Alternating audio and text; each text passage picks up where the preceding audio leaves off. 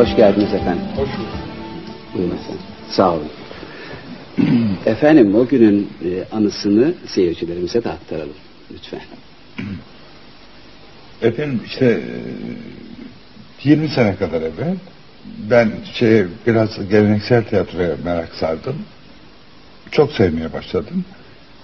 Rahmetli Dümbüllü İsmail abi gelmiş, beni izlemiş. Geleneksel bir oyun oynuyorduk. Beğenmiş.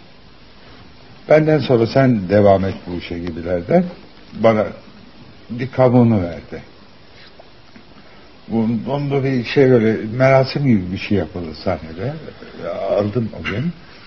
Sonra uzun sene ben bu bende durdu. Sonunda yük olmaya başladı. Estağfurullah. Yani bunu bir genç birine vermek lazım tabii. Düşünüyorum düşünüyorum. Kim olur? Gelmiyor aklıma.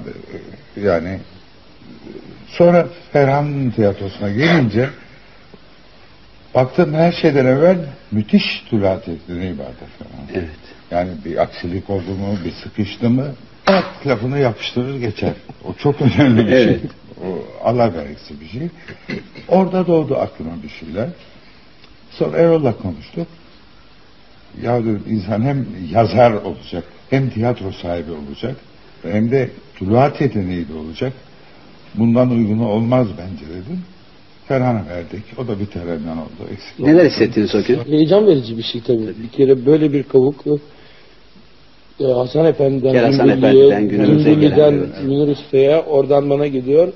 Hem büyük bir sevinç hem büyük bir sorumluluk. Şimdi hem bunu taşımak hem de başka birilerine, başka bir kuşağa, başka birine bu kavuğu vermek. Münir abiyle bizim böyle bir öykümüz de var. Ben bunu Gündes'te de yazdım. Bu kavuk e, kazancı yokuşunda bir komşu oturuyorduk. Ben Münir abi e, hayranlığım var. Yolda tanıştım bir gün.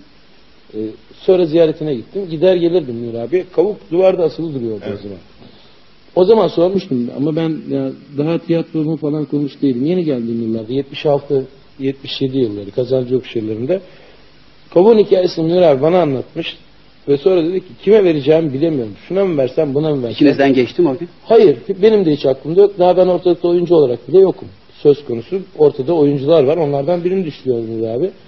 Gündes'e de yazdım bunu. İkimizin de aklından geçmeyen böyle bir kavuk hikayesi var. Sonra yıllar sonra bu kavuk bana geldi. Şimdi herhalde o devirden dolayı çok mutlusunuz değil mi? Çok. Çok teşekkürler. Sağ olun. Sağ olun. Çok zahmet ettiniz.